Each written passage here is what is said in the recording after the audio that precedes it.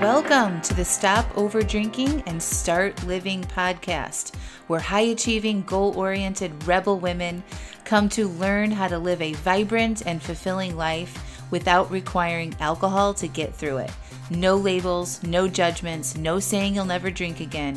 Just real proven methods to help you stop rebelling against yourself with alcohol so you can drink less and do more. I'm your host, Angela Mascenik. Let's dig in.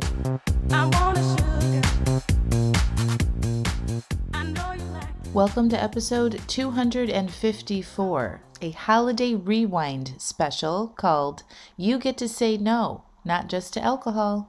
Well, hello, hello, hello. How are you all? I'm in Ireland and having a fantastic time. That's going to be a whole nother episode, hopefully coming soon. But for now, I wanted to give you a chance to listen to an episode I did last year at the holiday time that was very popular. And I think that everybody could use a re listen to this as we are now officially in the holiday season. It's called You Get to Say No, Not Just to Alcohol. And there are some exercises in there that I actually want you to do. So you're going to want to have a piece of paper or a journal or a notebook and pen and, you know, be sitting down and do this like a little class and take notes and actually do the exercise that I'm asking you to do and approach this holiday season like you never have before because you don't have to do it all, my friends. You don't. Just like you don't have to drink all the drinks and eat all the food, you don't have to do all of the things that you think are required for the holidays. So make sure that you take care of yourselves and put yourselves as a number one priority on top of that list so that you don't drink so much and you don't feel resentful and exhausted and you actually can have some downtime this holiday season. It is possible, I promise. All right, my friends, I hope you enjoyed the episode. So happy to be here with you today. We're inching our way towards Christmas, and you know, things can get busy. and I just wanted to pop in and record a podcast about the holidays. Again, I know we talked about it last week, and you listened to the class um, that I recorded. And I hope that that helped you, like really thinking about the experience that you wanted to have during the holidays. But I wanted to dive a little bit deeper on saying no and giving your, yourself permission to say no. And this has come up a lot with people inside the coaching program. A lot of people have been coming in and like talking about family relationships or events that they're going to where there's this one person that you know really grinds on their nerves and they're worried about it because that's usually when they overdrink and etc etc okay so maybe you think about you know something that you have coming up that you know you there's going to be a person or several there that you know kind of trigger you to want to numb out. I know that was me for a lot of it right? A lot of the holiday situations um, I would be around specific people that really I didn't enjoy being around, and I didn't know what I know now about feelings and our thoughts and all of that. And I would just get into my automatic process of drinking a lot, and sometimes even hiding drinks, like you know, putting drinks in a coffee cup or something like that. Like, and I would drink, you know, while I was cooking or pre partying, and you know, just to be able to deal with all of it. And so, I want to offer some advice for you is to just look at the things that you have going on, the things that you have coming up. What do you think about attending that family event? What do you think about going to that work party? What do you think about, you know, doing the big song and dance on Christmas morning or whatever that you have going on? And if you're having thoughts like, this is just what I do because it's family and you just deal with it because it's your family and you only have one family and you know you can pick your friends but you can't pick your family. I just want you to pause there and just notice if you're thinking some of those thoughts okay? And i want to invite you that you can say no to stuff. We are all adults and you don't have to go do things that you don't want to do okay? So if there's things that you have on the calendar or things that you've committed to I'm not saying that you need to cancel them or anything, but it doesn't have to be so black and white, okay? But maybe you could look at how you're thinking about that. And I just want to challenge you that just because they're your family or just because they're your coworkers or whatever it is, doesn't mean you have to do anything. Like nobody is forcing you to go do this stuff. Our society likes to program us to believe that we need to put up with shit because they're family, because they're coworkers, because of blah blah blah blah blah, right? And I just want you to recognize that that's what we've been told that we should do. But now you are an adult and you get to decide with your own free will the things that you do or do not do. And I really want you to feel into that because you guys do have that decision making capabilities. Okay? You don't have to do any of it. Right? And the reason why we believe that we have to do some of this is really just some programming, like I mentioned, because we don't want people to be mad at us. We don't want people to talk smack about us, right? We don't want to upset people. And so we continue upsetting ourselves at the cost, right, of preserving somebody else's feelings. And the truth is, we can't control how other people think and feel. They're thinking and feeling their things based on how they think about things. And really, it has not a lot to do with us. Yes, they will have some thoughts if you all of a sudden don't come to the event, right? Or say, I'm not hosting it, or take a departure from the script of what you've been doing for years and years and years, of course, people are going to say that. They people don't like change. Like we don't like change, right? And so when there could be a change happening or a small shift, you know, people might have some opinions about that, and that's okay. Right? Like, of course, they want to be upset about it, and that's fine. Like, they are allowed to have their thoughts and feelings about that. But I don't want that to stop you from doing what's right for you. And I know I've shared this with you in the past, maybe several times on this podcast, but I've used this filter this whole year, this whole year of 2022 that I came up with at the beginning of the year and it make it really helps me sort of make these decisions on whether I go or what I don't do. Okay? Or things that I do, maybe habits that I have or people I want to be around or food that I eat or exercise, whatever. It's this, okay? I support and do things that feel loving and supportive to me, and I spend less time doing things that don't feel loving and supportive of me. Okay? So whenever I'm coming up with a, against a decision, it's like, yeah, is this does this thing love and support me or does this thing event, person, food, whatever it is, not really feel loving and supportive?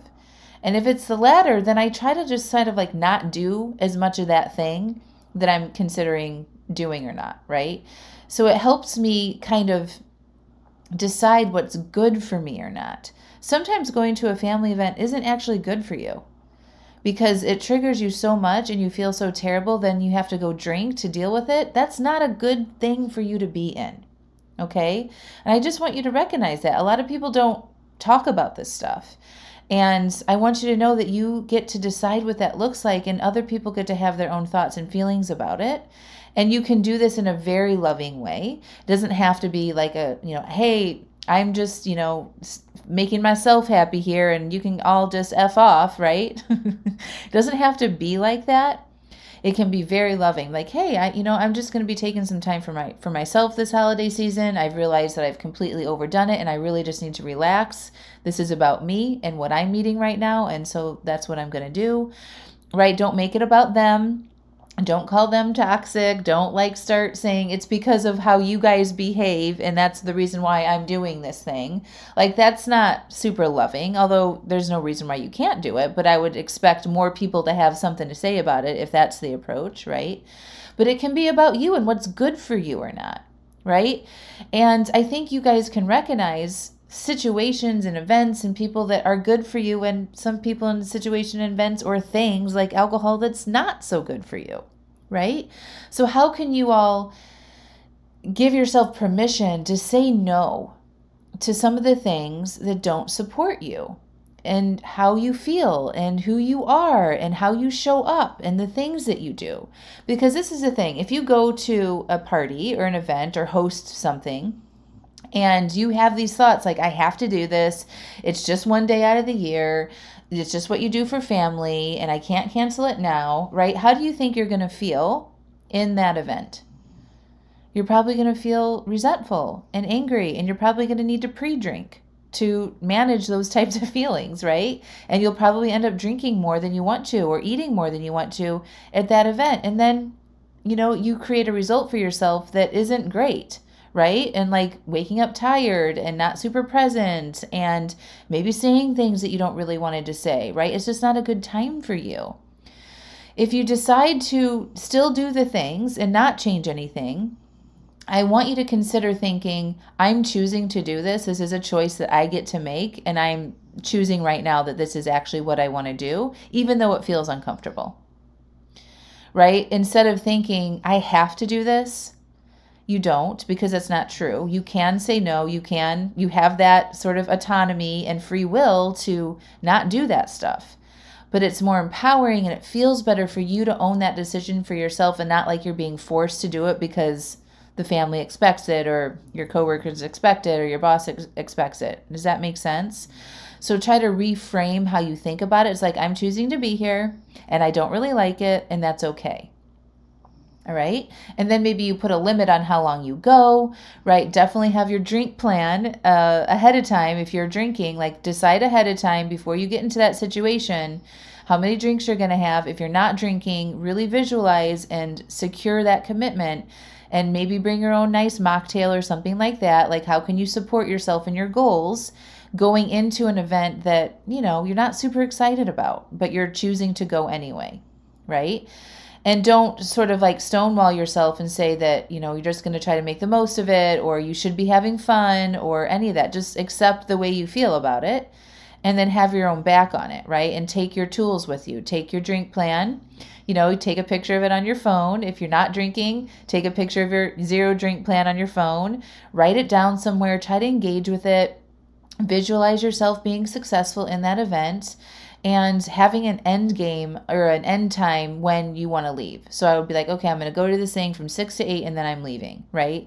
Like just have it all played out in your mind, like the actual plan, the time, your drinks, and have your right mindset before you go into the event. And you will have a much better time.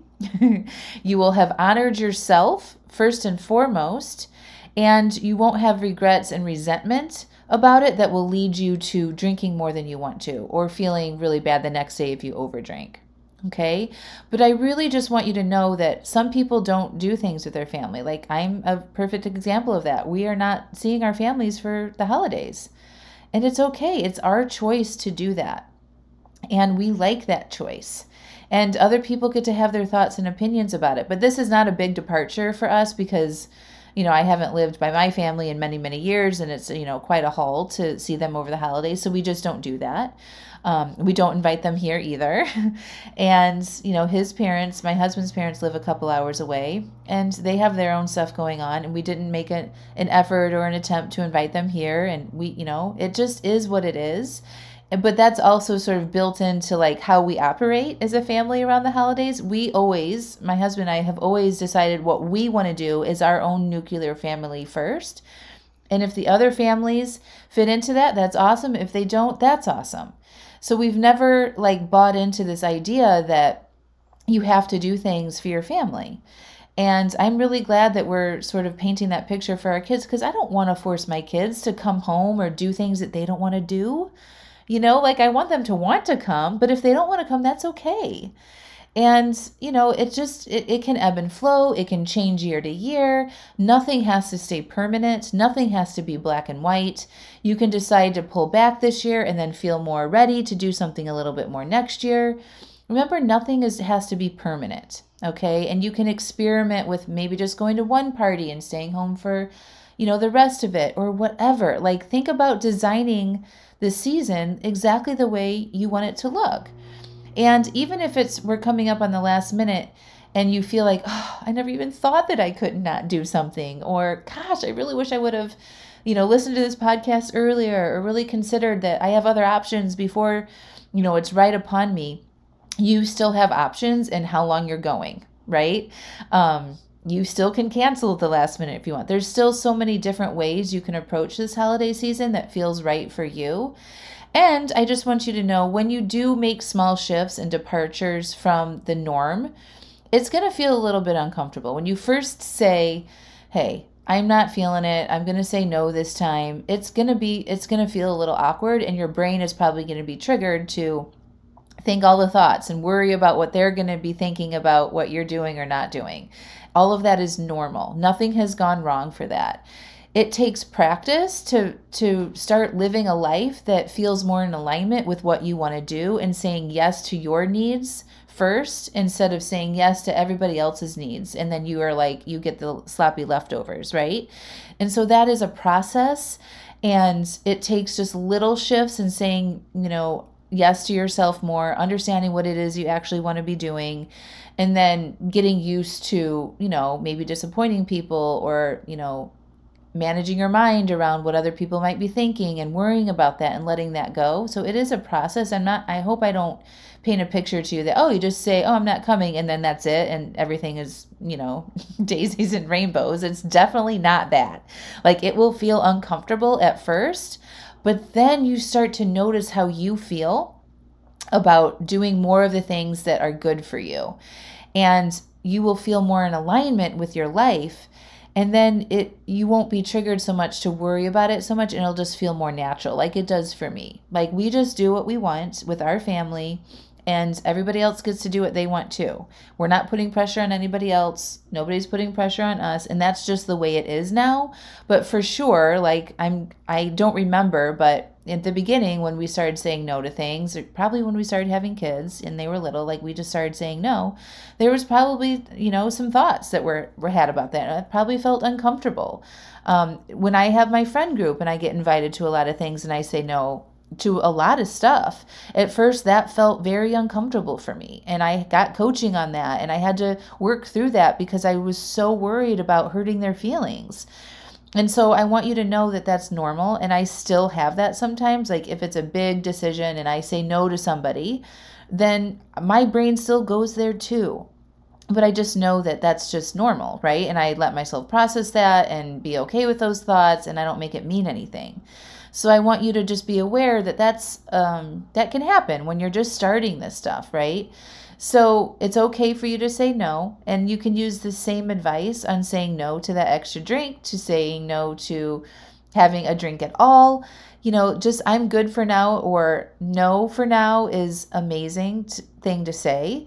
Um, but I think it's really like take it to the next level and not just say no to the extra drink or to having a drink in the first place, but let's look at other ways that you can say no to things that don't feel good for you and that, that don't really support you and that aren't maybe healthy for you, right? So I'm sure you probably have a list or have been triggered to think about some of these things by listening to this podcast.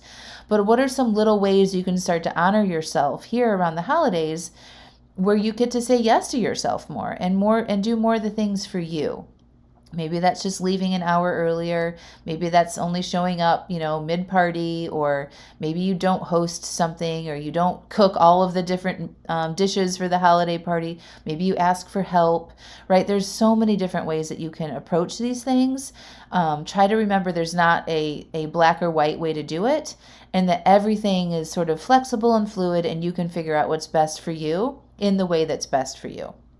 All right, my friends. And if you want support in this, this is exactly what I support my clients on. You know, a lot of the times people, women especially, come in, they don't know how to do this. They don't know how to say no. They just say yes to all the things and they get very resentful for it. And that's why we drink at the end of the day. And so I help them take baby steps and to learn how to do that for themselves and to find themselves more and to figure out what is good for them and what is not good for them so they can live more in alignment with themselves and feel good about their lives and not need to go drink in every single type of situation.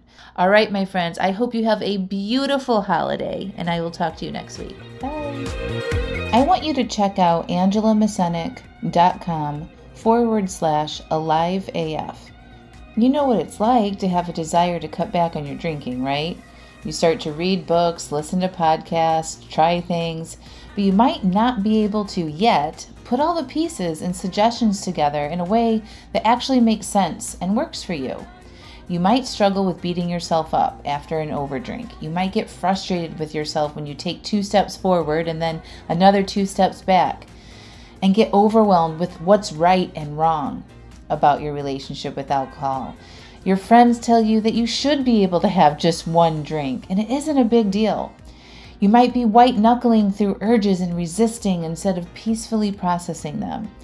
And you might struggle with your identity as someone who has enjoyed having a lot of wine or alcohol in your life.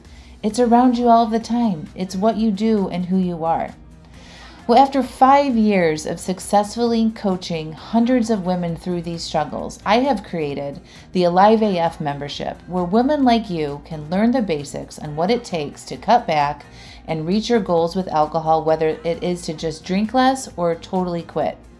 And when you join, you will get the exact framework I used to change my own relationship with alcohol and still use today that has led me to be alcohol free for over five years.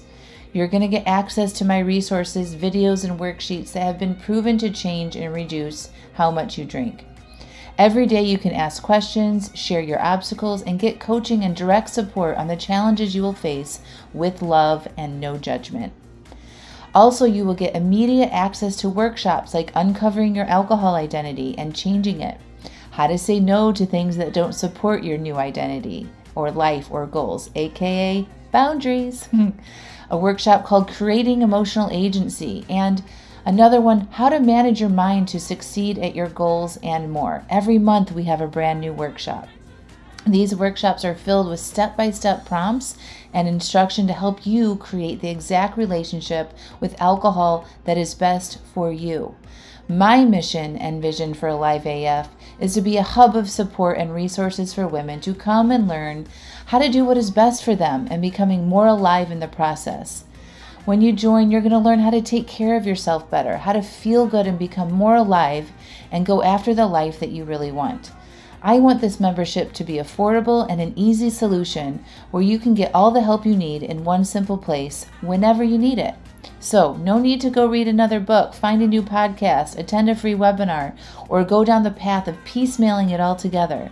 Join Alive AF and have it all there in one place for you anytime you need it. So, go to angelamascenik.com forward slash alive AF and enrollment is open right now. See you inside.